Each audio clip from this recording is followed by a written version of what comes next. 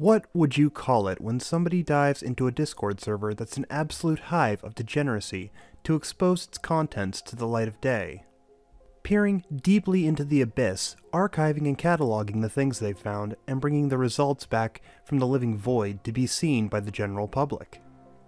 There are many things that one could call such a task, however, in this context, I'd be inclined to label this as vivisection, and the reason for this is the methods and the intent. You see, the subject of vivisection is taken apart while still alive, and is done so in a way that can leave them in distress and can even be considered torturous. The individuals who will be shown to you over the course of this series are still very much active in what they do, and are very much active in the furry fandom as well, and my goal is to expose them in the most painfully humiliating ways that I can. In this series, I'll be vivisecting a server filled to the brim with one of the worst types of people you can find on the internet necrophiles. Before we dive too deep into this, I want to give my sincerest thanks to Rouge Moonbat, an individual who not only took that plunge into this Discord server with me, but archived far more of it than I could have alone and built the Google Doc and accompanying Google Drive for this series, which will be released to the public at its conclusion. Those documents have all the information that Rouge was able to stomach archiving on the individuals who occupied this server, as well as all the information on their various other social media accounts that they elected to post themselves. Anything you can find in these was voluntarily published by the users in the server, and the link we followed to get into that server was publicly posted on the owner's Fur Affinity page. With those things out of the way, we can begin. This story begins as many do on the internet, with an argument. A simple argument between two people, and in the midst of this back and forth, one shot would ring out that led to exactly where we sit today.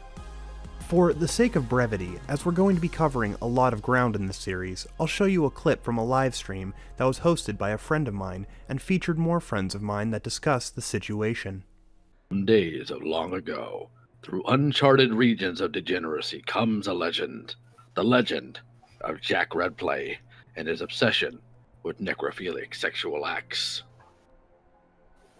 You see, a little bit ago, we were apparently sitting in the Senate, and Mimily was there. They were ripping on each other back and forth. At least this is my understanding of the story.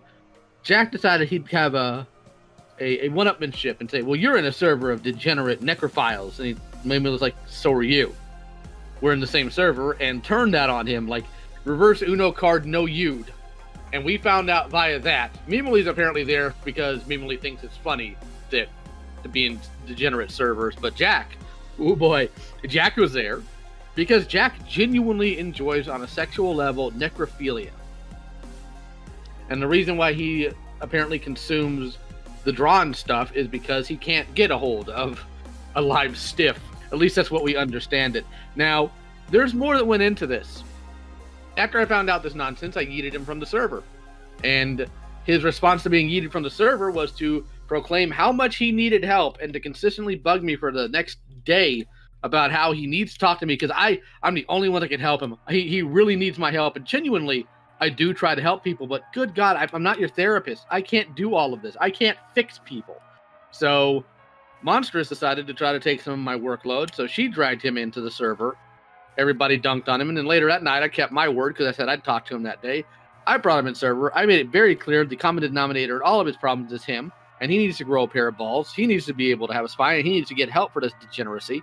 And his response was to play tough guy, play pretend like nothing we're saying was bothering him, and they get dunked on by a literal 16 year old later in the night after he came running out of the, out of the server screaming because somebody, we still don't know who, contacted Staleen out of nowhere and passed him logs of Jack's degeneracy within the server that he knew somebody was sending Staleen and is obsessed with finding out who that person is, likely to try to save his own face. Now, there is a lot more to this aspect of the story, and for those interested, I'll be linking the VOD of that stream in the description below, along with all the other resources used for this video.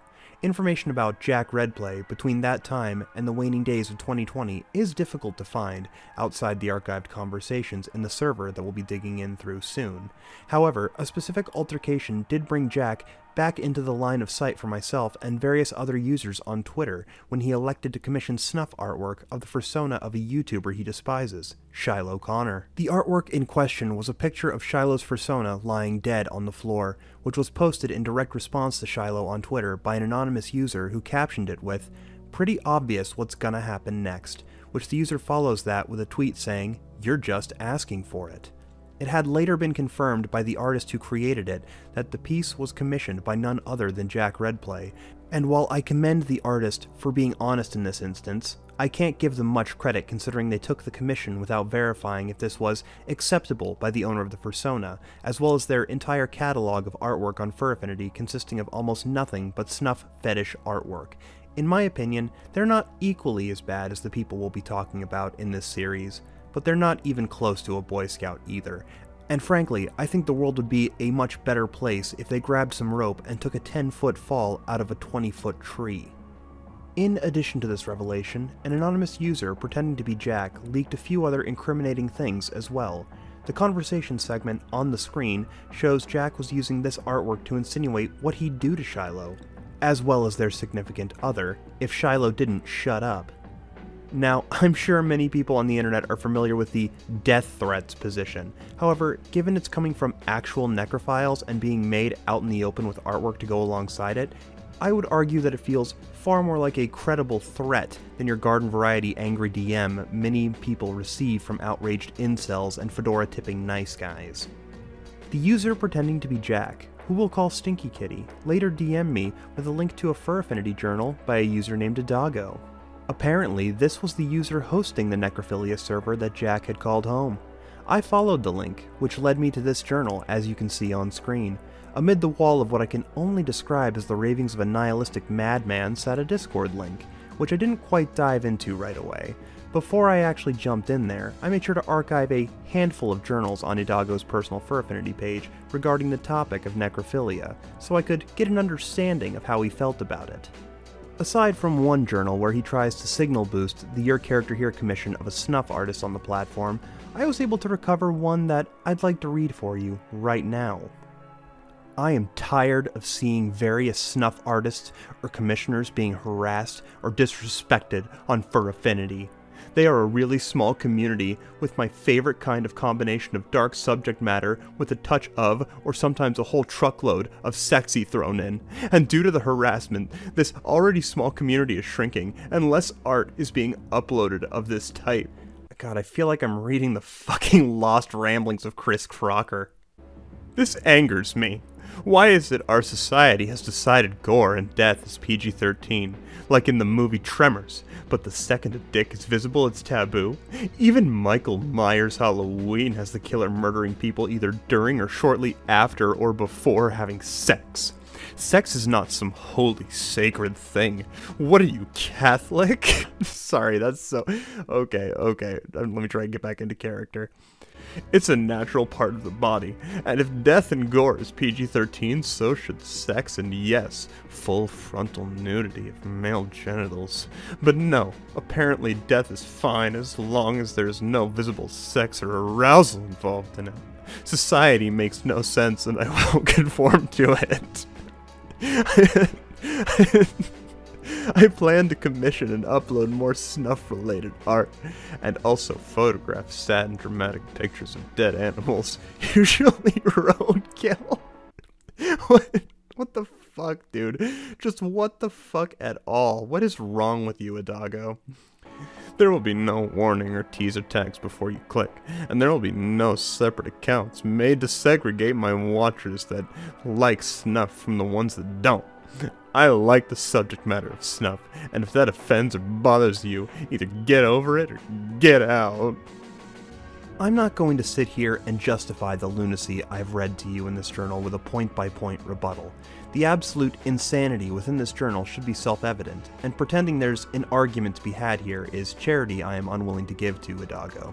After all, I'm not Catholic. If you can't understand the difference between having sex with a living person and having sex with a corpse, then that's between you and your therapist, and this video certainly can't do enough to fix the damaged wiring in your head. But this is a good time to segue into our next topic, that being the server's owner. Idago has a very cultish mentality when it comes to individuals who create and enjoy snuff artwork. There's a very putrid air of entitlement that permeates from him when this topic is brought up, as though creators and enthusiasts of that disgusting subject matter are entitled to the respect of everyone around them. Moreover, a very childish indignance is put on display when discussing the topic, whether on his Fur Affinity page, as I showed you earlier, or in Discord conversations, such as the one I'll read to you now. I just find that behavior kinda childish and whatnot, and going on a tirade about it is only going to make a fool of yourself. Yep. At least I know it's fiction, in parentheses, the art, and I would never pull that off to real individuals. I guess that fellow can't separate fiction from reality. He said so, and he lacks the empathy to comprehend others having more self control. I just can't help but grin at the ridiculousness. The sad thing is, this happens a lot. It's just a lot less dramatic. Many snuff artists get convinced they are the scourge of society and delete their accounts and artwork. We keep losing good snuff art that way, but the scat, diaper, and feet people are still all over the place. Also, I still detest that society embraces vor but condemns other forms of snuff. It's like, dude, they are eating someone alive. That is far more terrifying than getting choked, but my opinion is the minority. I've done vor art, but it was never the lethal type. Unless you write in the description that they get coughed up later, people will naturally die in there. Lack of air and stomach acids exist.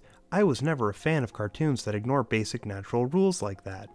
Like, the whole reason I got turned on by hanging is because it's a documented occurrence. It can happen. I want you to just, like, remember that he's turned on by hanging because it can happen. That's to be important. I only do execution scenes and anything murder related when it's either a gothic theme or an action theme. Back to that silly individual, I personally believe they're still a child at heart. At heart, yes, but in body they are an adult. This proves my point we are a generation of mental illness. Mental illness is fine if you can control it, but when you cannot, then it's a problem.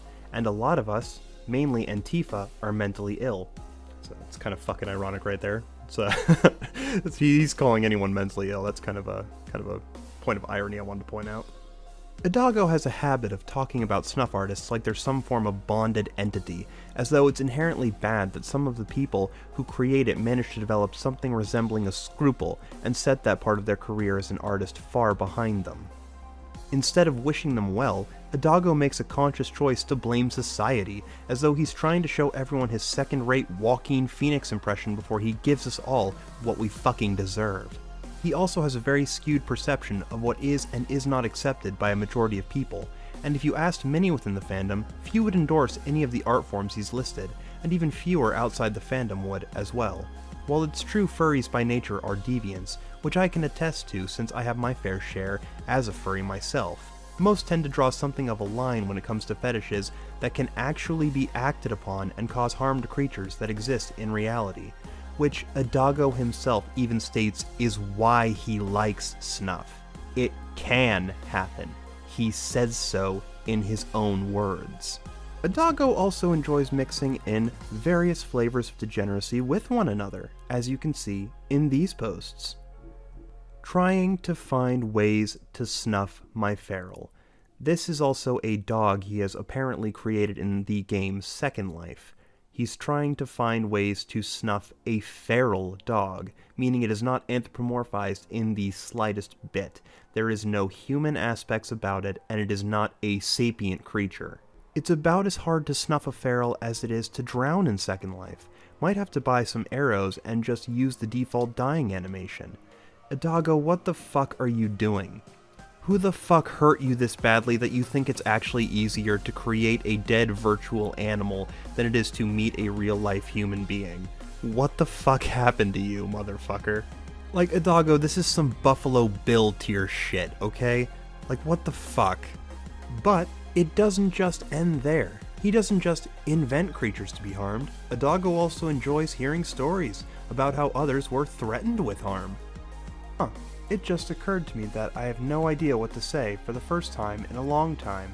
I joined this group to be able to say whatever I wanted to say, to get away from all the SJW White Knight LGBTQI bullcrap. It was good for a long while, and now it's getting filled with Stuff that makes me feel really wrong inside. Don't get me wrong, I don't want a safe space, or to restrict what you guys say. I came here to get away from that shit, lol. I guess I just feel a little out of place here, cause everyone else here seems to love necro and death. Well, that shit scares the shit out of me, lol. Not entirely sure what to say or do now.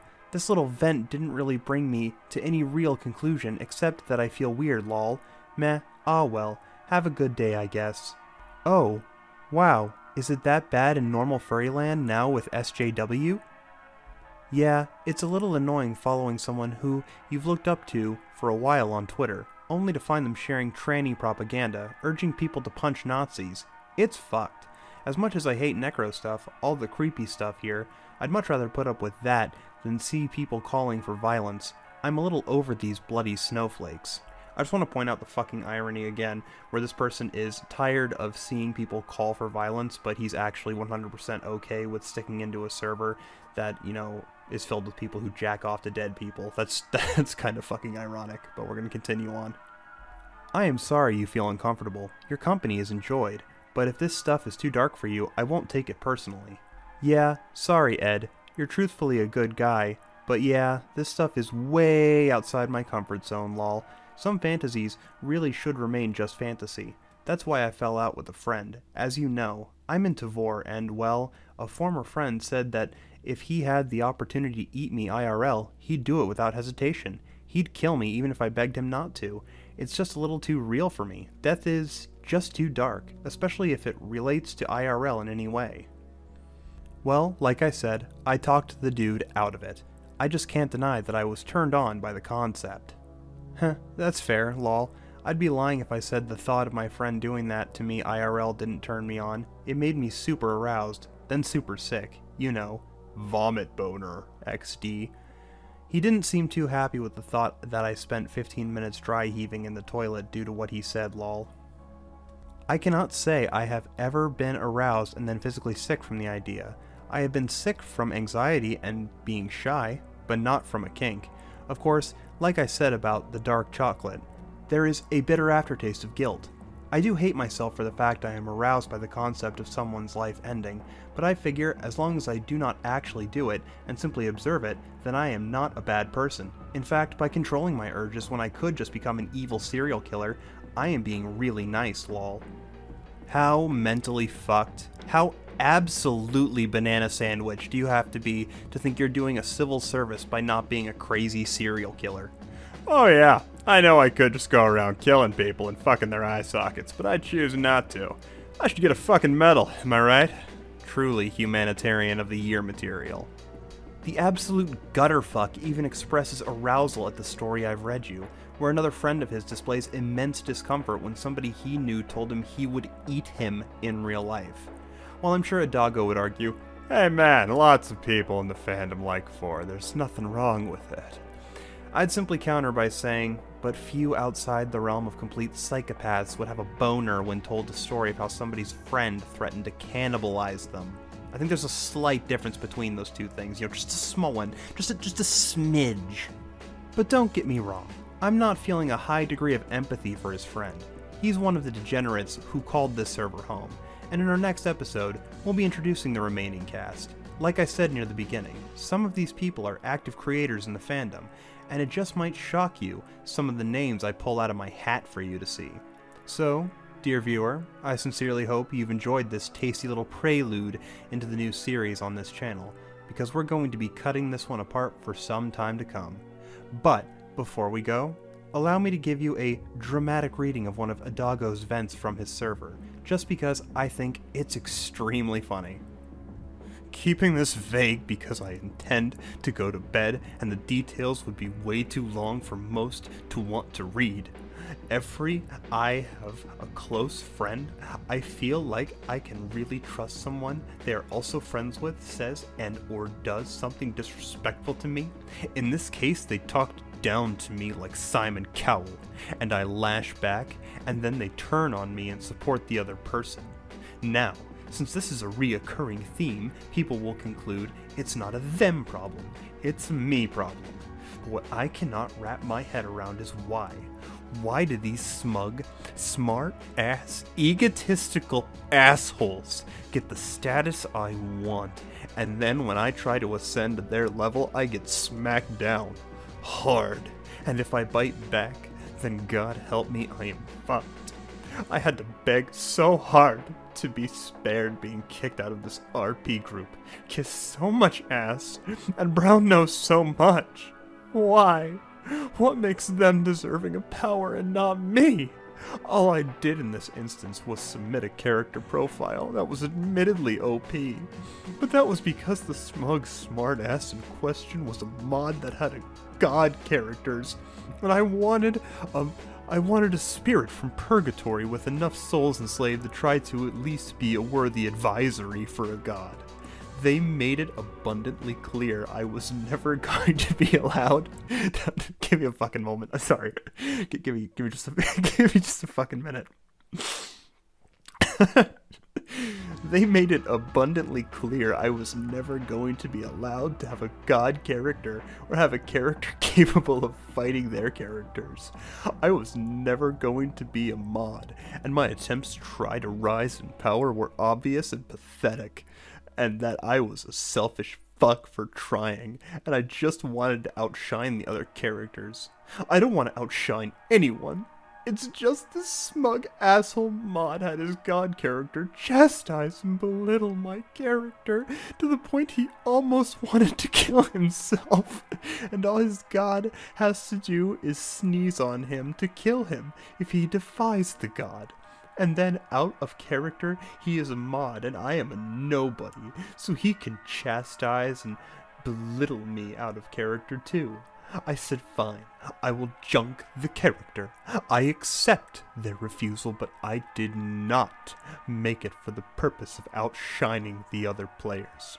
Well, apparently, saying that counts as back talk and disrespect towards the mods. By my logic, as long as I do not defy their authority, I am doing nothing wrong.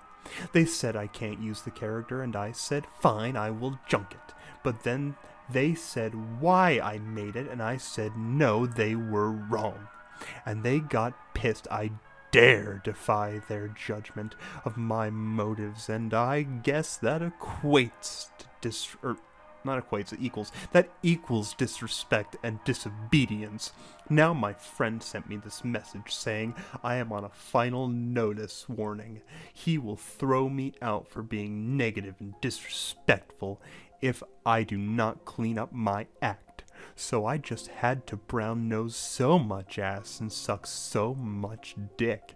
I just want to throw myself off a bridge. Dude, it's a roleplay server. It's not that serious. Chill out. God, switch to decaf, Kemosabe. I feel like my entire point of existing is just to be humiliated and belittled until everything I ever was in my past lives is lives lives sorry my past lives is burned to cinders once upon a time i felt pride i felt important i felt smart now i am trash and if i say i am not i get punished so severely. I could just say fuck it and quit the roleplay. But this is one of the last roleplays my boyfriend interacts with me in and this whole ordeal was in a discreet private Discord server, so he has no idea there is any problems. He is going to be mad at me and say I am a immature, self-destructive idiot for not being passive and bending the knee like he does on a day-to-day basis. Ah! Sorry, that, that crying was kind of just impromptu. Let's get back on track. What a life. What a way to live. How miserable and pathetic. I still would rather die than be that passive and accepting of my position. And I have a feeling life is gonna keep beating me down until I'm so broken. I not only accept a pitiful passive way of life, but embrace it. I bet they're still talking shit about me privately and planning to make a new threat if this one dies. I didn't invite everyone but me. Fuck. Even being vague, I wrote way too much. I'm sorry. Good night and goddamn. Oh my god, Adago, you are such a fucking fat, pathetic, sad dork. You are not just a degenerate, you are a complete fucking loser. As always, the artists who contributed are linked below. There's a link to my social media, my Discord server as well, and I'll catch you all later.